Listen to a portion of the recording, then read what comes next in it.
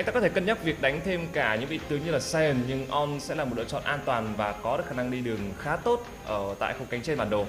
Và Kin thì đang có nhiều những bàn đấu anh ta lùi lại để đánh những chống chịu, nhằm tạo ra những khoảng trống để các carry như Minh hay là BD lên tiếng. Với ván thi đấu này thì nguồn sát thương của họ với Azir và Ezreal tôi nghĩ là khá nhiều rồi. Họ cần một người có thể mở chung cùng với ngộ không của Ghost và On có lẽ sẽ là một lựa chọn khá hiệu quả trong việc mở rộng tranh tầm xa với hỏa dương hiệu triệu. Vẫn có khả năng che chắn tiến trước với những hiệu khống chế đến từ bộ kỹ năng của con tướng này. Hai anh chàng là Budon cùng với kim, thì kết quả nó sẽ ra sao? Nhưng kết quả như thế nào thì mục tiêu mà kim hướng tới vẫn sẽ là kéo dài ván thi đấu dành cho những carry của mình để anh ta có thể đúc đồ.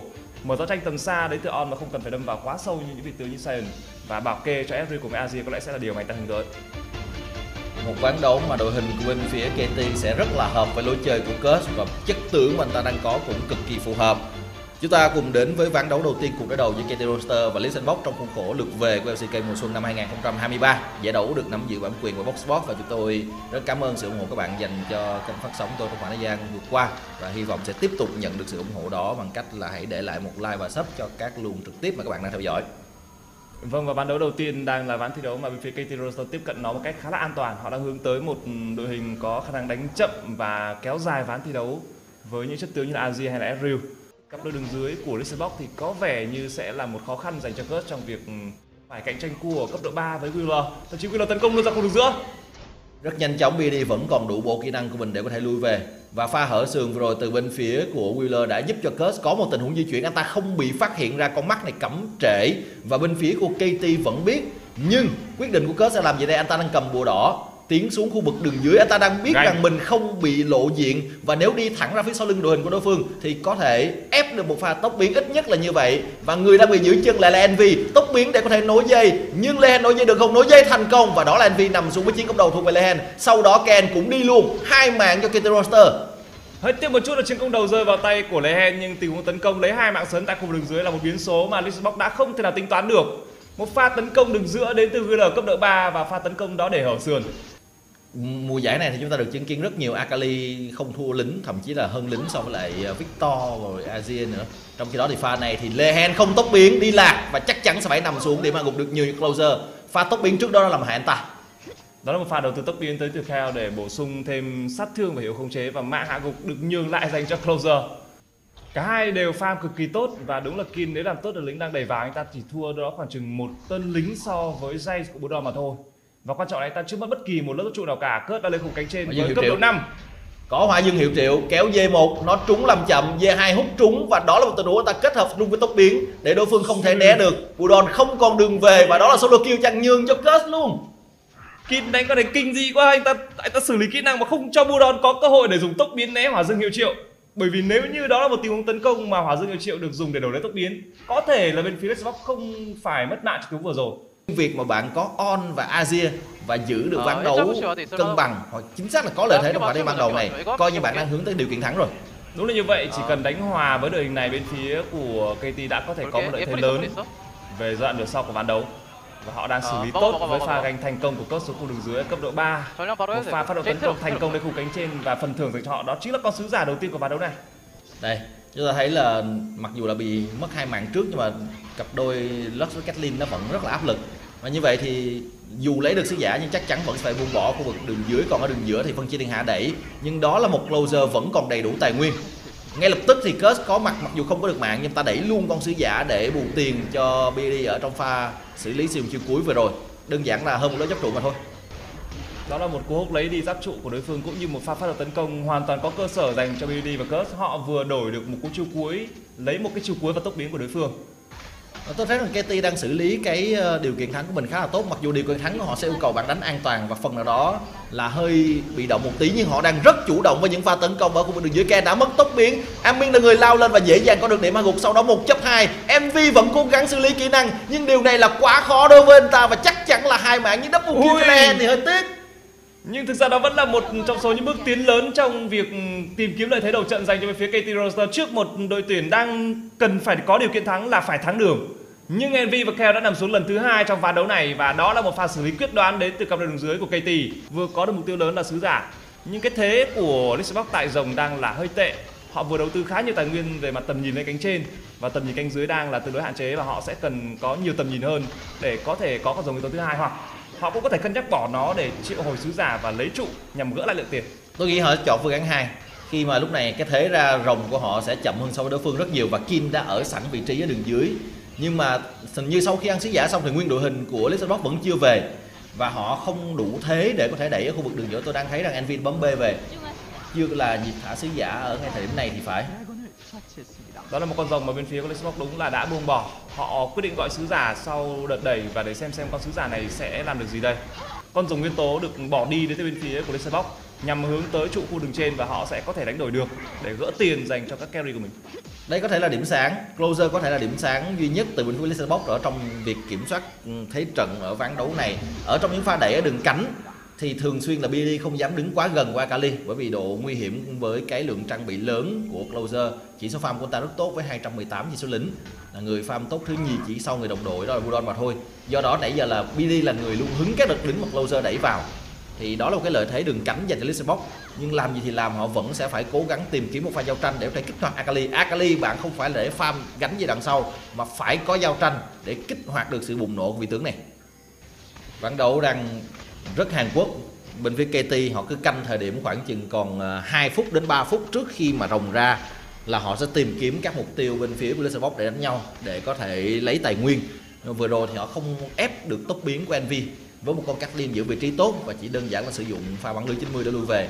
Cho nên là pha giao tranh tiếp theo bên phía của Lisbon vẫn còn đầy đủ tài nguyên. Envy để tiếp tục bị tấn công, mở xuống cánh dưới đó là Kin hút lần này ta không hút được và D2 đã trôi qua. Kin vẫn đang dẫn rất sâu. Đội hình của Lisbon bắt đầu quay ngược ra tấn công vào Kin Kin còn tốc biến có khả năng sẽ phải sử dụng. Và vẫn không có một cú tạ sung hữu đột vào người của Kin Lisbon nghĩ rằng mình không đủ sát thương vào con on này. Họ rén thực sự với cái lực chống chịu đến từ Kin đó là một góc đứng mà tôi nghĩ rằng Kim cũng có thể gặp nguy hiểm về mặt tính mạng nhưng anh ta quá trâu và bên phía của Lisbox họ bị mất xạ thủ của họ trong tiếng vừa rồi.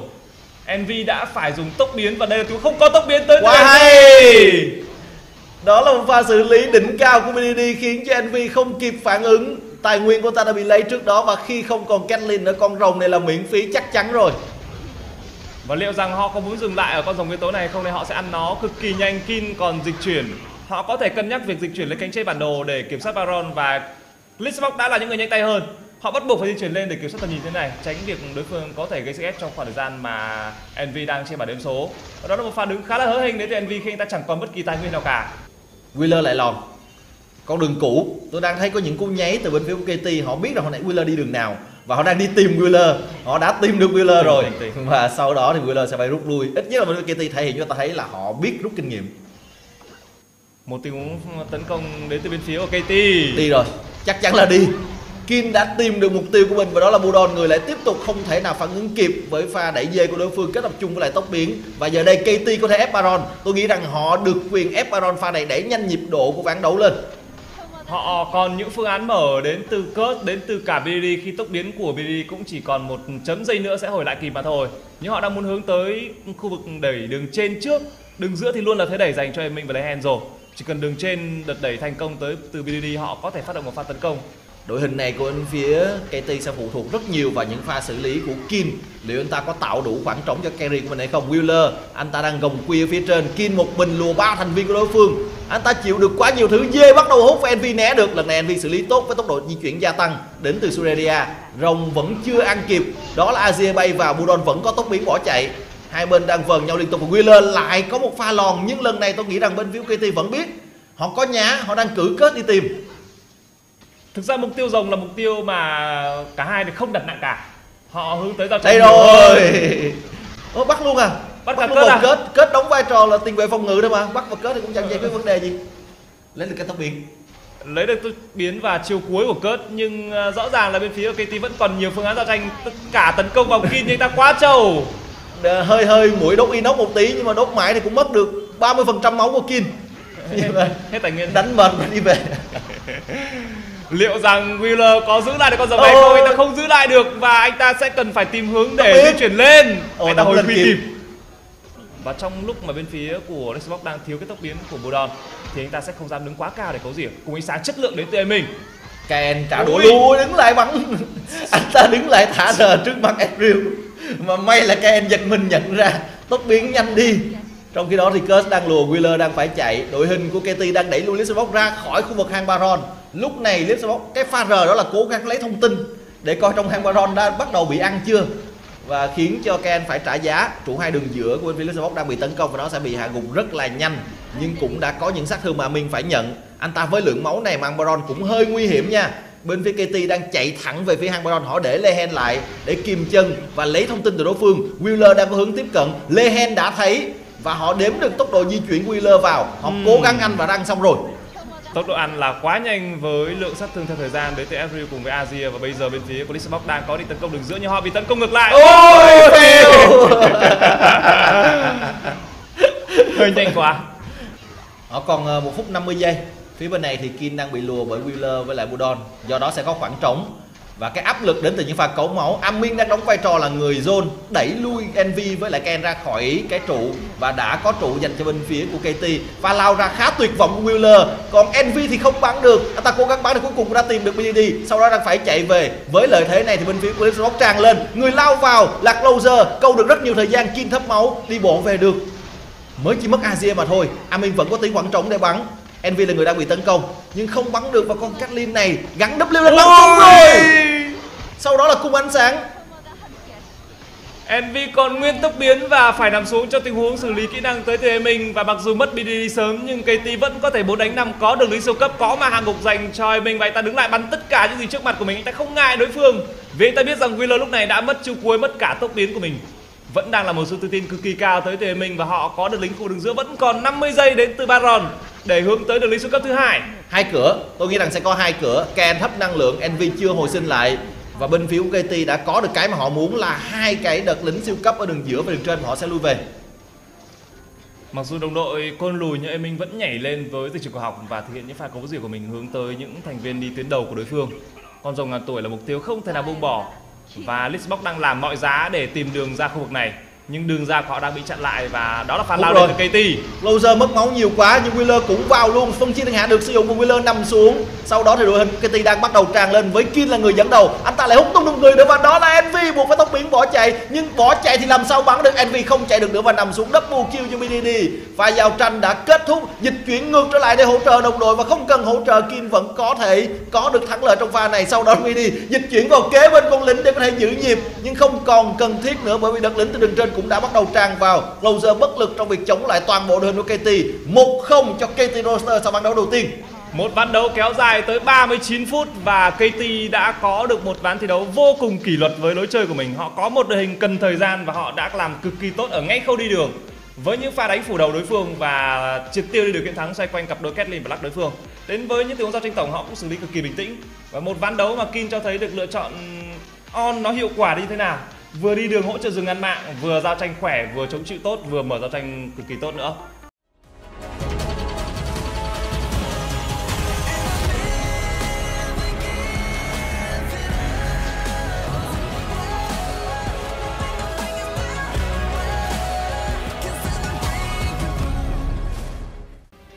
Zeri thực ra rất thích hợp đi cùng với những hỗ trợ búp à, và đánh với hỗ trợ mở thì thực ra sẽ không vào form lắm.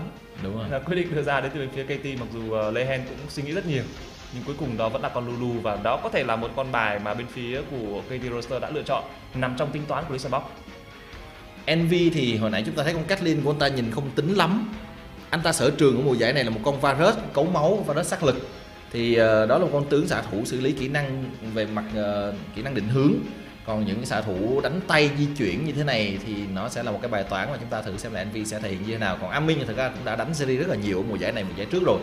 Thì ờ, đã có những ván đấu cũng carry được thì chúng ta có thể yên tâm một tí về cái màn trình diễn từ xạ thủ bên phía KT Đầy đường tốt trong khoảng thời gian ban đầu thì Tham Ken có thể kết hợp cùng với người chơi đường rừng phát động những pha tấn công hướng tới hỗ trợ kém cơ động như Lulu. Đúng là như vậy, bởi vì Tâm Ken khi mà kể từ khi mà thay đổi bộ kỹ năng thì nó cũng không quá lù đù ở giai đoạn ban đầu. Bạn có khả năng tấn công sớm nếu như đối phương có những tình huống mà hớ hên trong việc giữ vị trí. Và với một cái bộ đôi bên kia phía bên kia là Zeru thì bạn cần phải áp lực sớm trong khoảng thời ban đầu. Trừ khi nào bên phía của Lipsbox tin rằng mình có thể outscale tăng tiến sức mạnh tốt hơn so với lại đối phương. Chúng ta cùng bắt đầu ván đấu thứ hai cuộc đối đầu giữa Katy Roster và Lipsbox trong khuôn khổ LCK mùa xuân năm 2023 và tỷ số đang là 1-0 nghiêng về bên phía của tàu lượng siêu tốc một ván thi đấu cấm chọn khá thú vị đến từ cả hai bên khi nhiều những vị tướng khu đường dưới bị loại bỏ ở ngay phay 1 nhưng họ lại hướng tới cánh trên của mình sớm. Và cánh trên của cả hai ở trong ván thi đấu này thì nhìn về chất tướng cũng không phải bên nào có được cái ưu thế quá nhiều trong việc đánh tấn công sớm.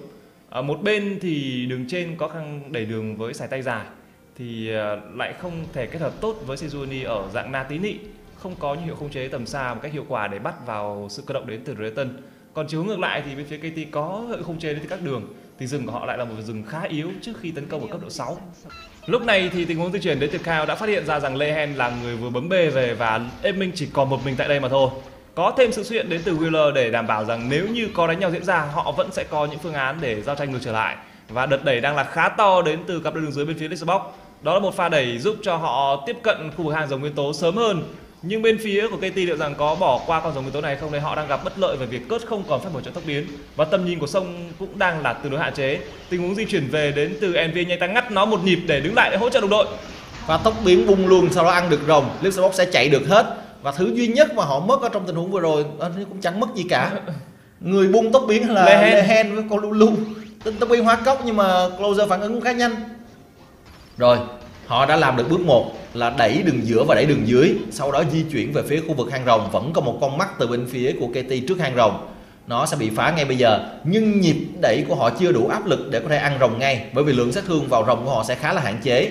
Cho nên bên phía của Lixbox vẫn đang chờ đợi cơ hội của mình. Để một đợt lính nữa, đây là lúc mà mình về farm lính ở trong trụ và đây là lúc để ăn rồng.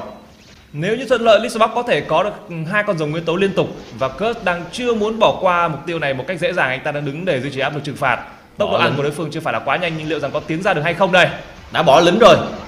Và Envy đang ở trong hang rồng. Pha lao vào rất đẹp của Curse và nó khiến cho Ken phải tốc biến bỏ chạy rồng thuộc về bên phía của Lixbox nhưng với cái giá là cái gì đây? Một hỗ trợ của đã nằm xạ thủ qua tốc biến bỏ chạy hạt trong nổ khá đẹp để có thể rút lui. Nhưng nhanh như điện thành công rồi và đó là BD lao vào những sát thương cuối cùng đến từ bên phía của Amin. Ui. và đó là double kill cho Amin một pha quang địa chấn lại là chuẩn xác tới từ BDD ở những giọt năng lượng cuối cùng và một con rồng nguyên tố đã phải trả một cái giá không hề rẻ đến từ bên phía của Lisa Box.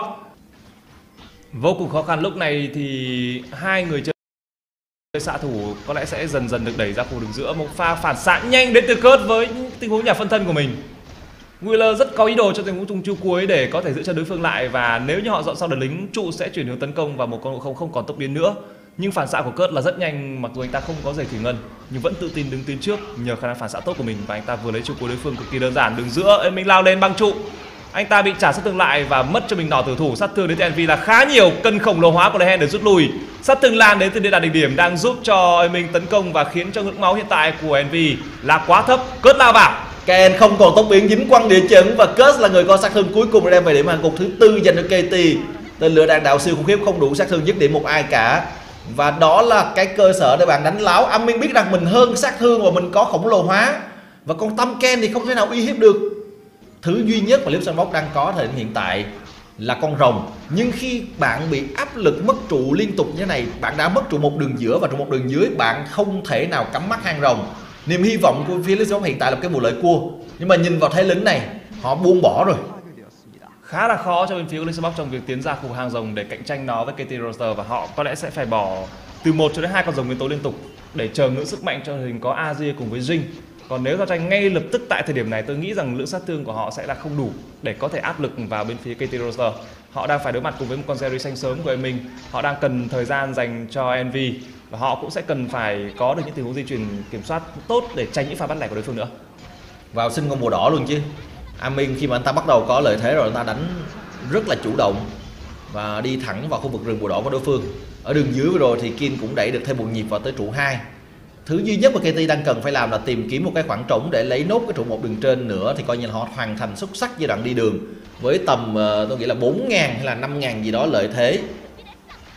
Họ bắt buộc phải di chuyển lên để lấy tầm nhìn quanh khu vực Habaron và để xem xem nếu như bỏ rồng mà ăn được trụ đường trên nó sẽ là kịch bản tuyệt vời nhất trong Felix Box. Thứ họ cần lúc này không phải là những con rồng nguyên tố hay là một tình huống giao tranh để được có thể uh, tranh chấp cái mục tiêu lớn với đối phương. Thứ họ cần lúc này là tiền để bắt kịp lại cái khoảng cách chênh lệch về tiền lên tới con số 5.000 vẫn đang được duy trì từ nãy đến giờ bởi KT. Em mình vừa bước lên hơi cao mất máu nhưng anh ta vẫn còn khả năng hút máu lại từ huyết kiếm cùng với cái nào tử thủ.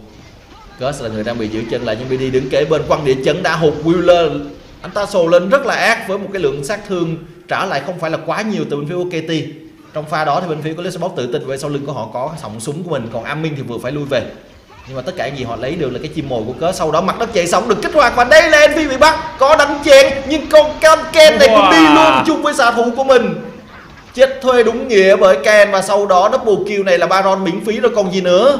Một pha bức tốc đến từ KT một pha bức tốc nhanh đến từ KT và Lisbon không kịp trở tay trong tình huống vừa rồi. Luôn. còn trụ đến từ bên phía của Lisbon họ đứng quá cao tại khu vực đường giữa. Và BDD lại một lần nữa cho thấy được cái tình huống mở giao tranh của mình là xuất sắc đến như thế nào. Tình huống nhìn ra pha đứng lỗi của xạ thủ đối phương để phát động pha tấn công của Lisbon và họ không muốn từ bỏ. KT không muốn từ bỏ trụ một khu đường dưới của mình. Cú dịch chuyển được đầu tư để Kin có thể giữ lại cái trụ này. Và sức sát thương đến từ Closer chắc chắn sẽ là không đủ để có trụ cho bên phía Lisbon vô cùng khó khăn cho bên phía Lisbon ở trong ván thi đấu này khi cặp đôi đường dưới của họ đang liên tục bị khai thác ở cả hai ván thi đấu. Ván thi đấu trước là Luck và Kathleen, ván thi đấu này là Jing cùng với Tamken. Những lựa chọn tại khu đường dưới của trong ngày thi đấu này đang không phát tác dụng, còn ngược lại KT đang có một ngày thi đấu mà cặp đôi đường dưới của họ đóng góp điều kiện thắng vô cùng tuyệt vời. Chưa kể phong độ tốt đến từ hai đường đơn là BDD cùng với Kin Đúng. mang lại rất nhiều phương án tấn công dành cho Curse. Ở ván thi đấu này thì ôi em mình vừa ép đi cái tốc biến đến từ Closer anh ta không ngại việc lướt vào trụ đối phương và anh ta có giáp quá dày đến từ Lulu đến từ huyết kiếm. Có con Lulu đứng kế bên thì Amin chẳng có gì phải sợ cả. Anh ta nãy giờ anh ta đứng cao rất là nhiều. Và khi bạn còn cả thanh tẩy, cả tốc biến, có Lulu. Lý do gì phải sợ một con Azir anh ta thậm chí đứng lại bắn hai, bắn ba vẫn được luôn. Trong trường hợp mà đối phương không có CC chỉ thẳng vào đầu. Đây, Wheeler cũng chịu không nổi những phát bắn đến từ Amin và đội hình của Lesbos đang phải đi xuống dưới phòng ngự, nhưng mà họ sẽ bỏ đường trên và đường giữa bạn đã bị vào thế rồi thì bạn chỉ chờ đối phương đánh sai. Còn đối phương mà không đánh sai thì bạn lật bằng niềm tin với cái cách mà bên phía của KT Monster đang thể hiện. Và đây là lý do tại sao mà chúng ta nói rằng sự ổn định là điều mà hầu hết tất cả các đội TLCK mùa này đều không có. Có duy nhất một đội ổn định mà thôi là bên phía của T1 Budon dính quăng địa chân Ui, trời. Ơi. Na tín nghị không có trang bị thứ hai và đầu hai. Ta hướng tới lại là một trang bị nửa công nửa thủ. Đó chính là một cái cơ xích hóa kỹ Ờ, và vừa rồi là một cú quăng địa chấn mà BDD cho thấy được cái phong độ của anh ta tốt như thế nào, cũng như việc không có không có tầm nhìn trong khu vực rừng. Mà Budon di chuyển một cách mạo hiểm như vậy thì cái giá phải trả là chính tính mạng của anh ta cùng với cái trụ hai đường trên bên phía của Leicester Box. Ra khu vực đường giữa tới từ BDD để tiếp tục áp lực và họ muốn ăn trụ bậc thềm đối phương thêm ở tại khu vực đường giữa mà không cần tới bù lợi Baron thứ hai. Không có con na, thì hơi khó phòng ngự. Có một pha dịch chuyển từ Kin lên cánh trên, rồi bắt đầu tiến vào quá khó kết vào rất nhanh và đó là một pha đánh chén nhưng sau đó Ken cũng đi y chang Ui. lần trước chẳng khác gì cả. Và phía bên ngoài này thì Wheeler cũng nằm luôn sát thương và điểm hạ gục được chia đều cho đội hình của KT và pha giao tranh này cũng sẽ là pha giao tranh cuối cùng. Không phải là một ván đấu hoàn hảo bởi vì trước đó Lexbox có hai con rồng đầu tiên nhưng đây cũng có thể được coi là một chiến thắng hoàn hảo dành cho KT roster với tỷ số là 2-0 và với một cách biệt hủy diệt lại là quang địa chấn từ BDD nó có vẻ là chuẩn xác nhưng đối phương có đồng hồ. Và tục biến đúp nô thành công tới từ Kin và bồi vào. Đó là một viên phi thạch cực kỳ đau của BDD tiễn closer lên bảng lần đầu tiên cũng là lần cuối cùng trong ván đấu này. Tỷ số là 2-0 cho KT, họ chỉ tốn 28 phút ở ván đấu thứ hai. Và với một hiệu số là 11-0 để có thể có được thắng lợi trong ván đấu quyết định này. Đây sẽ là một tình huống mà tôi nghĩ rằng bên phía KT họ sẽ tạo tiền đề rất lớn. Tôi hy vọng rằng, tôi rất hy vọng rằng Wonder Kitty sẽ có cái giai đoạn chạy đà cuối vòng bảng này thực sự tốt và không bị vấp cỏ. Để mà vào playoff á, họ sẽ trở thành một đối trọng thật sự cho ba đội nhóm trên. Hiện tại đang là T1, Genji với lại DK. cả Lissabox lẫn KT đều có được một đoạn à, vòng bảng khá thành công ở những mùa giải trước nhưng khi vào playoff thì cả hai đều không giữ lại được cái phong độ ở vòng bảng của họ. Và KT Rotor đây là một trong số những trận đấu đây là một trong số những ván thi đấu. Và cả một trận đấu họ cho thấy được cái đẳng cấp của họ. Nếu như đánh đúng như thế này thì thực ra họ đã có thể có một vị thế cao hơn.